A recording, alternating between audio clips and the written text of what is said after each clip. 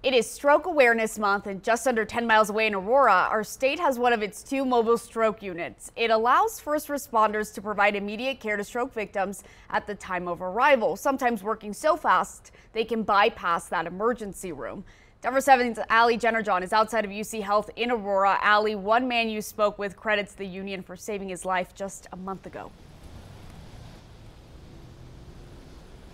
Yeah, Veronica, and what uh, first responders kept preaching to them is that time is brain. And what they mean by that is for every minute lost post stroke, that patient loses 2 million brain cells. I spoke with Peter Ryan a month after he had a stroke at the Aurora Golf Course, and he says that he's walking around now with no side effects and credits that all to the immediate care he got because of the mobile stroke unit. In these units, they have everything paramedics and nurses need to street treat a stroke on the go, from medication to a neurologist to a CT scanner, all inside the unit, versus an ambulance where critical treatment can't begin until the victim arrives to the hospital. When Ryan woke up at the hospital an hour and a half later, he says he was already making impressive progress.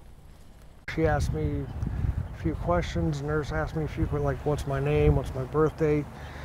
Uh, they asked me to move my left leg and then move my right leg, and I was able to do all of it, and they all just looked at each other smiling.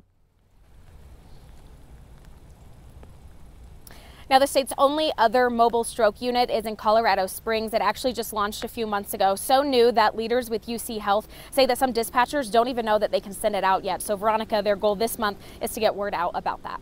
All right, Allie, thanks so much.